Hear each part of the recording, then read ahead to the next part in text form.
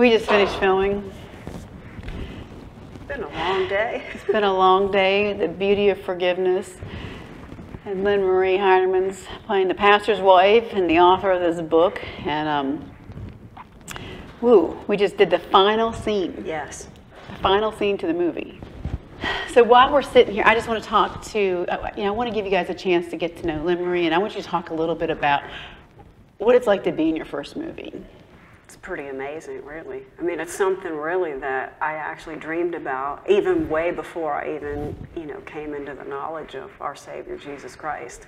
And I'd actually went to acting school and I wanted yeah. to be a soap opera actress, you know. And again, this was before I knew the Lord, so it's just a real blessing that He's allowed me, you know, yeah. and open up this door and this opportunity with my beautiful sister here, Tammy. And it's just such a heartfelt film about forgiveness. Mm-hmm. You know, there's a lot of people really hurting for many oh, yeah. different reasons, but you can probably almost say that, that every family probably struggles with this to some, some degree. Some degree. Yes. Everybody. And, and, so we're really praying that when people see this movie that it just delivers them and sets mm, them free. Amen from that ugliness yeah. of unforgiveness and that bitterness. And, and even in Scripture, we, we need to forgive. That's amen. right. We forgive because He forgave us. Yes, amen. amen. And that's just, and, and even to people possibly who, who don't know our Lord Jesus Christ. Mm-hmm. The beauty of forgiveness, right? The blood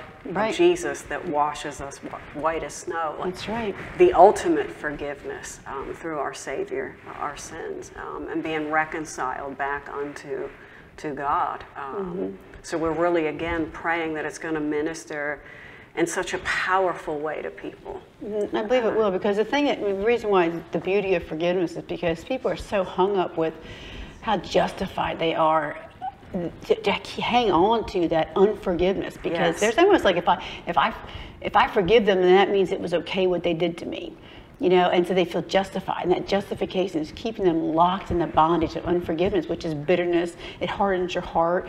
It changes the way that you treat people. It, it blocks love from coming into your life. It yes. does all of this stuff. And yes, so, it does. And so when you allow yourself, because Jesus says to forgive, when you forgive, there's this beauty that happens. And most yes. people don't even know it's there.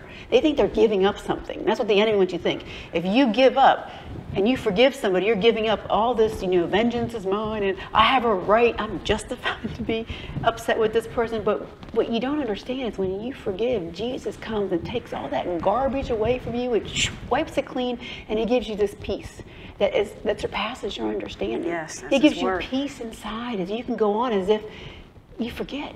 Because when Jesus forgave our sins, he doesn't remember them no more. And that's one of the most beautiful things. When you actually truly forgive somebody, you forget their debt, you know, the deed that they yes. did to you. you. You just forget it. And you're able to have that peace to go on. There's a freedom that comes. And that's what we're hoping this movie shows.